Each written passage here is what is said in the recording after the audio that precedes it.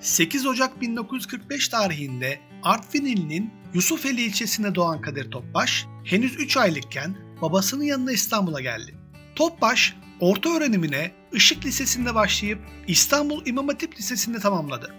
1972 yılında Marmara Üniversitesi İlahiyat Fakültesinden, 1974 yılında Mimar Sinan Üniversitesi Mimarlık Bölümünden mezun oldu.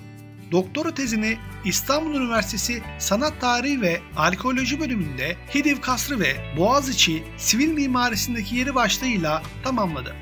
Topbaş uzun yıllar serbest mimar olarak çalıştı.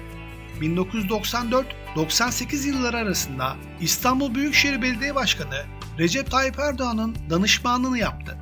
Danışmanlığı süresince Büyükşehir Belediyesi'ne bağlı olan saray, kasır ve tarihi eserlerin restorasyon çalışmalarına katkısı oldu.